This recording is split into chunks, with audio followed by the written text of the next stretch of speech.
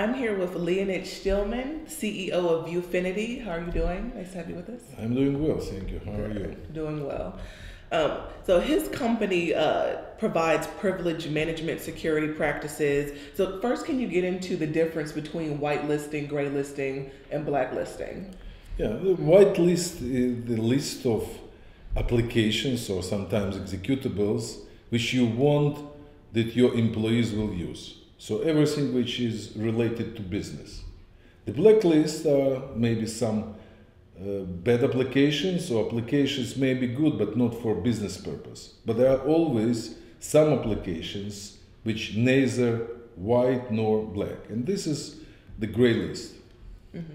And how does this pertain to filtering out you know potential zero days um, and advanced attacks? And do you have an example of i guess how an intruder has kind of scaled the wall once they've gotten you know a privileged uh, access? Yeah the, the, first of all if you the something in the whitelist then you're 100% sure that everything is okay. The same with a blacklist nobody will do any damage to you. This application simply will, will not run.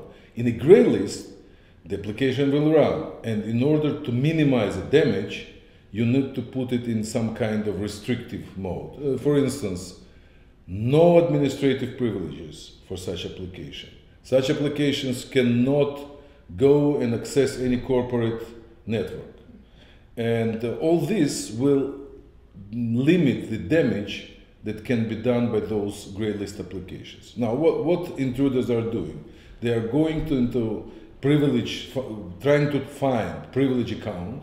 When they found privilege account on the endpoint, they are trying from this privilege account to get to the privilege account on databases or important corporate application, and then the great damage can be done to the organization. So curbing privileges or making least privilege environment is very important we hear a lot about these spear phishing emails and uh, an intruder googling someone or using freely available information on linkedin to get enough information to send that email that gives them the in. But what other things are people doing? What else have you seen? Sometimes they are doing uh, uh, very simple but very effective things. For instance they have program or there are uh, some kind of phishing uh, application which is looking for hidden administrative accounts, accounts that somebody created maybe a year ago for testing purposes and have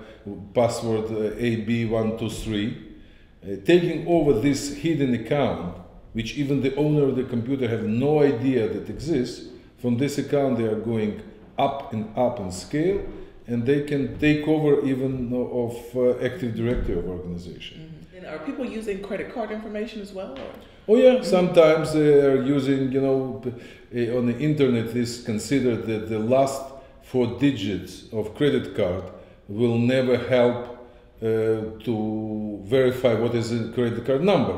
But sometimes it's not needed. Once you know four last digit of credit card, you can identify yourself, for instance, for iTunes, and then take over of application and wipe out uh, computer and you do, can do a lot of other things. So those small things can be sometimes more efficient than sophisticated viruses. Mm -hmm. You're talking about advanced attacks.